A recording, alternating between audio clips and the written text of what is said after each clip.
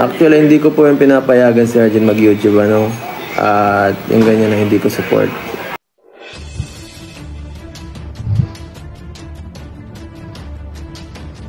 Ayan. Shout out po sa inyo lahat, sa lahat nating mga minamahal na viewers. Ayan. Muli nagbabalik po ang inyong lingkod. Ayan na guys, no? Topic natin, ito ay yung pagsagot ni Edo. Paglilinaw patungkol doon sa ginawang pagla-live ni Arjin. And yun nga, nag, ah, nagsusulisit ng pera. Bawal po yan eh. And narinig nyo sa aking intro, hindi po sinusuportahan ni Kalingap Edo si Arjun sa kanyang channel, sa kanyang ginawang YouTube channel. Yan. At sabi nga ni Kalingap Edo, siya ay matagal na sa Kalingap. So, alam niya yung protocol. Bawal yun. Eto na. Baka meron pang hindi pa po nakakapanood sa aking sinundan ng video na to. Na nandun, mapa, makikita niyo po, guys, yung ah, mga sagot ni Arjun. Parang nag, nag, nagreklamo kasi nga paano daw, saan daw niya kukunin yung kanyang panggastos?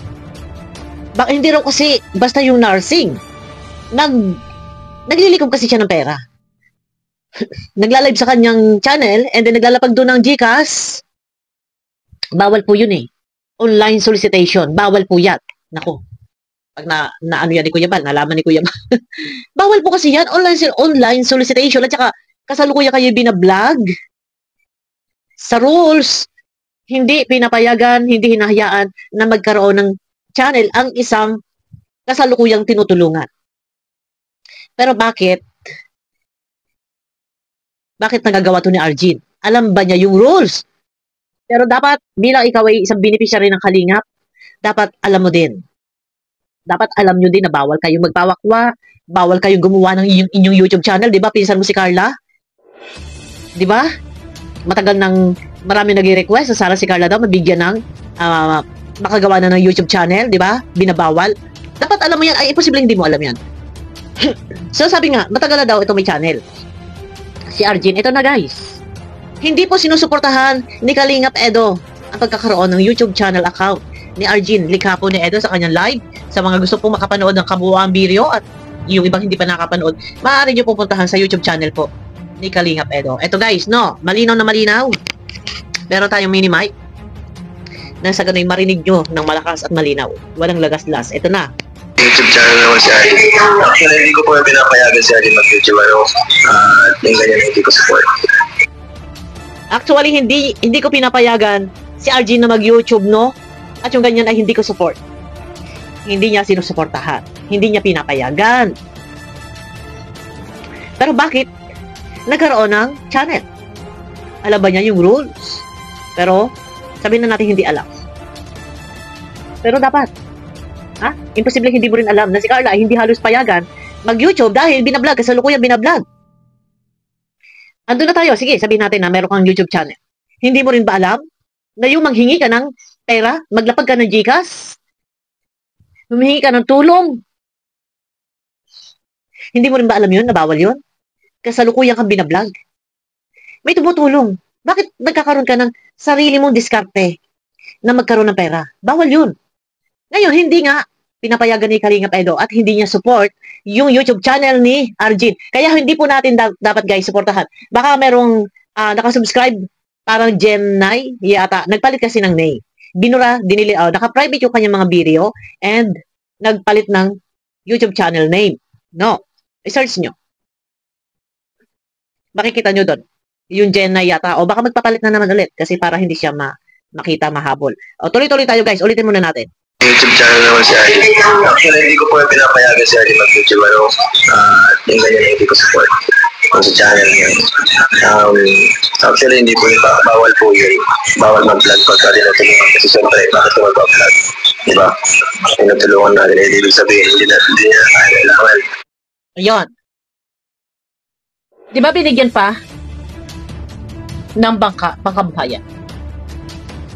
No? Binigyan ng bangka, ipangkabuhayan. Ano nangyari? Dapat yun. Kung may parents siya, may, magul- may mga magulang siya, magsumikap.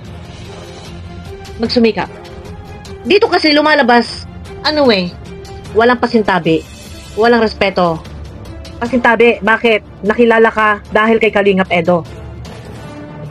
Nagkaroon ka ng viewers, pinapanood ka ng viewers, dahil kilala ka, nakilala ka, dahil kay Kalingap Edo. Kung wala si Kalingap Edo, walang manunood sa'yo. Puro respeto lang. Pasintabi, nagpaalam ka sana muna kay Kalingap Edo bago ka gumawa ng YouTube channel. Nagtanong ka rin muna dahil ikaw, Arjun, ay beneficiary. And yung paghihingi mo ng tulong, ha? Bawal yan. Online solicitation. Kasintabi. Beneficiary ka ni Kalingap Edo. Tapos ngayon, magla-live ka sa, gumawa ka channel, nagla-live ka doon, humihingi ka ng tulong para sa pag-aaral mo, tapos ngayon, reklamo ka, aangal ka, dahil paano ka mo ang panggastos mo ay mimisan ka lang i-vlog ni Kalingap Edo. Guys, panoorin niyo yung video ko, yung sinundan po nito. Nandun po yung kanyang pagreklamo. Nandun po siya nagreklamo. Puro respeto lang. Hindi po pwedeng binablog ka, tinutulungan ka, binigyan kayo ng pangkabuhayan na bangka, tapos ngayon, uh, binibigyan kayo ng ayuda, tapos ngayon, gumawa ka ng channel, puro para live, para live. Ilang beses ka, maglalapag, naglalapag ng Gcash account. Mali kasi, no? Eh, hindi kasi, hindi kasi nasuportahan. Pag ganito, hindi dapat na tulungan pa. Kasi dito makikita nyo na, ah, kung napanood nyo lang, yung kanyang mga explanation, eh kasi bibisa na ka lang ako i-vlog ni Kuya Edo. Tapos paano naman ang aking pang gastos sa pangtustos sa pag-aaral ko? Ang hirap na mga maintain din ng ano. Hindi ka dapat nagsasalita ng ganun kasi kailangan ma-maintain yung kapayapaan, yung katiwasayan, walang issue, walang naibabato sa iyo, walang napupuna sa iyong negative. No? Kailangan. So, yan po tayo, medyo ano tayo dyan, medyo ating sa Arjun sa sana hindi niya na masyado yan. Kasi bawal po talaga sa kalingap ano. Kahit sa isa po tayo sa pinakamatagal sa dito. Alam na alam po natin ang rules. Depende na lang po kung siya sinabihan kayo na binigyan kayo ng go signal ni Kalingap Cup o ni Kuya Bal. Opo, opo, ba- bawal, bawal maging matigas ang ulo dito. Yon. Bawal maging matigas ang ulo at masyadong maganon din. Alam mo, sa totoo lang, dapat iniingatan nyo. Huwag kayong para kayong may sariling mundo. Alalahanin nyo. Ito kay kaya, alam sa totoo lang, wala sa kalingap ang problema. Nasaan? Nasa beneficiary. Para silang walang pakialam. Parang, wa, ano eh, binabypass nila eh, yung mga tumutulong sa kanila. Baka kulang na nga lang kay Arjen eh, rumereka na. Pag may rumereka sponsor, tanggap kakitanggap eh. Maaari mangyari ito. Kung merong sponsor na re-request sa'yo, tanggap ka kitanggap. Ito guys, hindi ito Kalingap Angels Batch 1. Pero sa pagkakaalam ko, nung mga nakarang araw, parang ito na yata sa Batch 2 na yata ito. No? Sana magiging aral sa inyo yung mga nakaraang mga mga beneficiary na ganyan na nagkakaroon ng uh, bad image sa, dahil sa mga kinikilos nila, sa ginagalaw nila. Mababas kayo. At hindi kayo sasantuhin ng viewers. Agad, ang dami ng babas sa'yo, Arjin. Tapos ngayon nga, sabi nga ni Kalingap Edo, hindi niya support yung channel mo. At hindi niya hinahayaan, hindi niya pinapayagan. YouTube channel naman si Arjun. Actually, hindi ko po yung pinapayagan si Arjun mag-YouTube. Ano, uh, yung ganyan na hindi ko support. Oh, yung ganyan na hindi niya support. Walang galang, Arjin. Huwag mong, tapos doon sa, sa live mo, ha?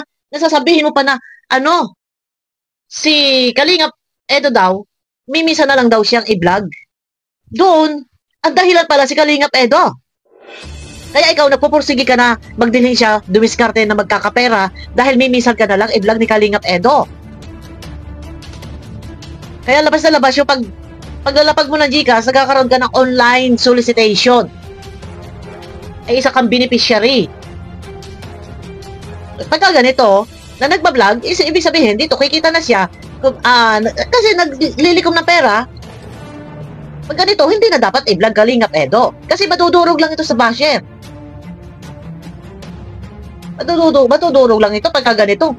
Matigas ang ulo, magiging, ah, sorry ha, magiging matigas ang ulo, magiging pasaway. Mas, kumbaga, bukod tangin na, ikaw lang ang gagawa ng ganyan. Nagagawa ka ng YouTube channel wala kang basbas ni Kalingap Edo, ni Kalingap Rab, ni Kuya Bal. Nakakalikom ka ng pera. Nag-aala M ka dito, parang kasi M. Para kang si M, yung nakaraang, yung umalis itong nakaraan. Hindi si Ate Mylene ha, hindi si Ate M. O Ate Mylene, hindi. Para kang si M, alam nyo na kung sino yan. Eh, pag gaganyan din lang, marapat, nabitawan ka na. Hindi ka nakarapat dapat matulungan dahil ikaw ay nakakadilisya na. Nagbablog-vlog ka na at nangihingi ka ng pera tulong, di umano ay para sa pag-aaral mo. Di ba? Instant. O, ay samantala, bawal po yan. Bawal yan dahil kayo ay tinutulungan ng kalingap. Mawalang galang po, respeto sana. At huwag ninyo gagamitin, huwag niyo sasabihin na dahil kaya mo, oh, kaya mo nagagawa yun dahil may minsan ka na lang nabablog ni Kalingap Rob. Hindi po pwede yun, hindi katwiran yan. Sa channel niya. Um, actually, hindi po yun, ba- bawal po yun. Bawal mag-vlog pagka tinutulungan. Kasi siyempre, Bawal mag-vlog kapag tinutulungan. Di ba? Yun lang yun. Alam nyo yan eh. Posible hindi nyo alam yan. Ay kamag-anak ko si Carla, di ba? Kailan nga lang nagkaroon ng channel si Carla. Di ba? Kasi siyempre, bakit ko mag-vlog? Di ba? Tinutulungan na rin. Hindi ibig sabihin, hindi, na, hindi na tayo kailangan. Oo. Kaya siya nagbablog. Di ba? Binablog. Ay tinutulungan. So kaya siya nagbablog. Ibig sabihin hindi na nga kailangan. Tapos doon sa pagbablog niya sa para live, para live, eh, inahayaan na nga na mag-TikTok. Okay lang siguro na mag-upload kayo. TikTok sa Facebook. Pero ang galawan po kasi ng kalingap, ng mga vlogger, ng kalingap, ay sa YouTube. Okay lang siguro maglagay personal vlog sa TikTok, magpara-ayod-ayod kayo dyan, magpara-sayaw-sayaw kayo dyan. Okay lang yun eh. Pero yung magla-live kayo doon sa sa YouTube at alam naman ninyo na ang lahat ng viewers ninyo, maging ang viewers namin ay kalingap yan. Kaya kami pinapanood dahil sa kalingap ang viewers niyo kaya kayo pinapanood mga viewers ng kalingap yan. Kaya ka sinubscribe dahil nasa kalingap ka nga eh tapos ganyan naman ang ginagawa mo Arjun. 'Di ba? Eh alam niyo bawal, binigyan kayo ng pagkabuhay eh, tapos sasabihin mo, ah, kaya mo kaya ano kasi may minsan ka lang binablog eh paano paggastos mo? Problema mo 'yun. Pero wag niyo gamitin, wag niyo samantalahin. Masyado kayo kasi nagte-take advantage eh. Wag uh, kumbaga sinasamantala niyo yung pagkakataon dahil palibhasa kilala kayo, binablog kayo ng isang sikat na vlogger, tapos sasamantalahin ninyo yan. Hindi po pwede yan. Talagang mauusig kayo, tapos ngayon, yan, tinago mo. Tapos ngayon, nag-live ka, tapos yung sagot mo na, ano ba kasi kayo? Hindi kasi kayo maintindihan. Baka naman nyo, baka kalaman nyo, hindi nyo alam yung course ng nursing. Baka naman may bas nyo ako sa course ko. Bakit ka kumuha ng kursong nursing kung wala ka din lang naman kasiguraduhan mapagkukunan ng pantusto sa iyong pag-aaral? At iaasa mo pa dyan sa parahingi mo sa ibang tao. Real talk tayo dito. Ito wala sa akin personal. Real talk tayo dito kasi lumabag kayo. Lumabag ka. Yung pag-aaral mo, wala kang pantustos. Iaasa nyo, magla-live kayo, magkaparahingi. Teka muna. Eh, may protocol bawal eh. Tapos sino ba yung hinihinga ninyo? Eh, mga viewers ng Kalingap yan. Tapos kayo, mababas kayo ngayon, tatago nyo yung video nyo. Hindi nyo kayang panindigan. Di ba? O yun lang yung akin. Hindi nyo kayang panindigan. Tatago-tago kayo ng video ngayon, no? So, dyan po tayo, medyo ano tayo dyan, medyo ating sa dun sa O, dyan, med- sabi ni Kalinga Pedo, dyan po ay medyo against po tayo dyan kay, Ar- kay Arjin sa sana hindi nyo na masyado yan. Kasi bawal po talaga sa kalingap, ano, kahit sa, isa po tayo sa pinakamatagal sa kalingap. Dito, alam na, alam po natin ang rules. yun. Di ba? Kaya sorry ka. Kung nababas ka. Oo. Si, ano, ano na ngayon? Sikat ka. Yun yung, yun yung gusto mo eh. Baka gusto mo rin pantayan yung kasikatan ng mga ibang kalingap. Yeah, sikat ka ngayon. Pero, kaya, kaya negative or positive, andyan, sikat ka. Huwag ka na magtago. Huwag mo na itago. Ilabas mo na lahat ng mga video mo. Wala na. Huli na lahat eh. Nabulilyaso ka na eh. O, di ba? Yun sinasabi ko. Pero pasintabi. Pero mas pinili mo mag-vlog at sasabi mo nangangatwiran ka, may misa ka na live vlog ni, ni Kalingat Edo ay kailangan mong pera. Marapat ba? Na maghingi-hingi ka sa live chat? Sino, ano ba yan? Nasaan ka ba? Nasa kalingap ka, di ba? O di dapat i-announce mo na hindi ka nakalingap. Ining. ayan. Ayan na guys. Yun lang. O ito ay inanuhan lang natin. At sabi nga ni Kalingap Edo, ito lang naman, pinarinig ko lang, sabi nga ni Kalingap Edo, na hindi niya kinukonsente or hindi niya pinapayagan, hinahayaan na magkaroon ng channel si Arjin at hindi niya yan sinusuportahan. So, yun kasi eh, gumagawa kayo ng mga first move na mali. Hinintay nyo yung tamang panahon. O, kagaya ngayon, nasa batch 2. Ba- ah, yun, pagkakaalam ko, iwan ko lang kasama yan sa batch 2. Kasama nga ba? Ikaw rin nyo nga ako, guys. Pero ngayon, ayan na. Pagka ganyan, umpisa pala, nakikita na na medyo iba na, at iba ang galawan, iba ang aurahan. Ay, pagka, para sa akin, pagka ganyan, umpisa pa lang, tigilan nyo. Sakit ng ulo ang abutin nyo dito, tapos ngayon, may mga nakaabang, mga wakwak, tapos nagkakaroon ng division na, o sige, kami na bahala sa iyo, ining, kami na na bebe, o na bunso, kami na bahala sa bunso, Arjen. O, yun, yun, kagaya nanggagaling, yung nangyayari kay ining, ay, kay ining, kay, kay M. O. Eh, pa- para sa akin, hanggat maaga pa, huwag nang i-vlog. Total, yun din naman eh. Ngayon pa nga lang, eh, gumagawa na ng wrong move na ganyan-ganyang, ano? Huwag na i-vlog. Hanggat maaga, dapat maagap din ang mga taga-kalingap. Pagka ganyan, medyo nai-stress kayo at nakikita na ninyo talaga, lumalabas yung tunay na ugali. Pagka ganun, distansya, amigo, amiga, yun lang yun. Hindi pa pwedeng itutuloy-tuloy nyo, tapos bandang huli, stress abutin nyo dyan. Ayun na guys, pinarinig ko lang yung sinasabi ni Kalingap Edo na hindi niya support, hindi niya support yung channel, yung, yung hindi niya support na nagkaroon ng channel si Arjin at bawal iyan. Yan, malinaw guys, no? At sa pahayag nga ni Kalingap Edo ay siya, isa siya sa pinakamatagal sa Kalingap, ay talaga bawal. Bawal naman po talaga. Bawal naman po talaga. Pero bakit nga, may mga ganyan, ang lakas ng loob. Tapos bandang huli, manunuwag. Oh, sino pa matatapang? Lalo na pa, pag may mga supporter sila. Oh, pababanata si Kalingap Rab. Ay, patay tayo dyan. Ayun na guys, sabangan niyo ulit ako sa akin next video po. Bye-bye!